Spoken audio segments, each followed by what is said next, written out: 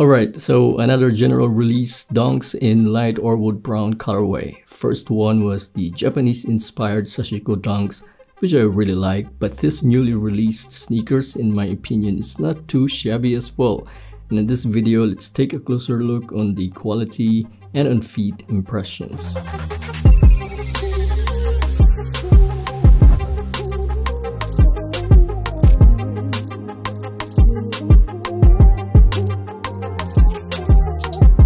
Boss, Pinoy Mannschaft here again and I will tell you directly, these are one of the best quality dunks that I have and it's giving me actually SB Dunks Adobe vibe because of the mixture of the materials. On the base you have the canvas and on the overlays are made of soft textured tumble leather. This retails at 130 euro which is a bit expensive than the normal dunks since this is a PRM version. First looking at the workmanship, my pair is free of glue stains and the stitchings are properly executed. Second is the quality of materials. The overlays are made of super soft tumble leather and the base are made of textured canvas which feels durable on hand. The embroidered dark green Nike logos on the heel tab are top notch, sharing the same color on the canvas tongue logo. This dunks by the way came with a normal Nike Dunk Low GR red box and there's nothing special into it. But I really wish all GR dunks have this kind of quality in terms of materials and workmanship. And I gotta be honest, I'd say it's almost the same with the SB dunks. I'm talking about the GR ones. The only missing of course is the insoles which the SB dunks have the zoom air technology and this one is just normal of course.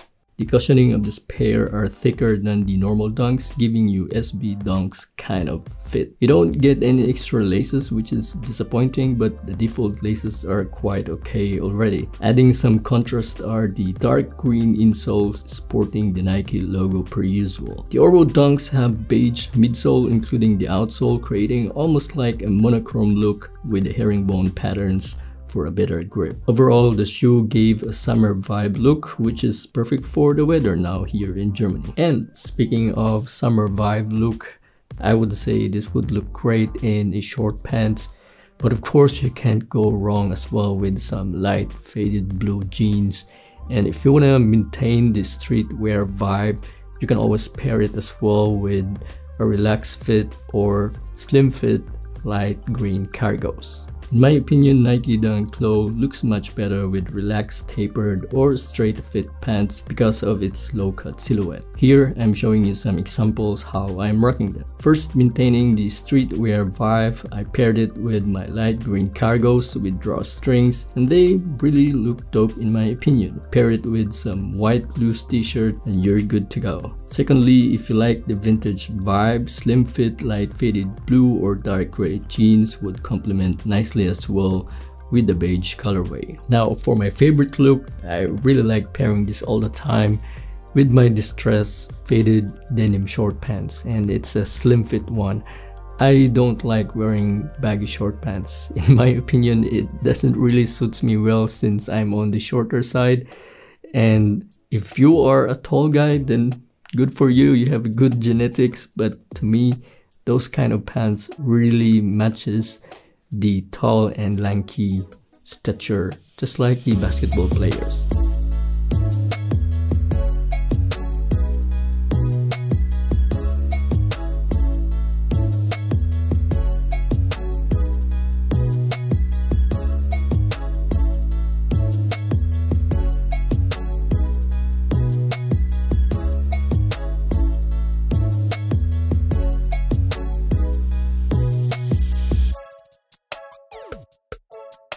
What about the sizing? I'm still wearing true to size on this one, although it's a little bit snug if you want to compare it to the normal GR Dunks, not the PRM version.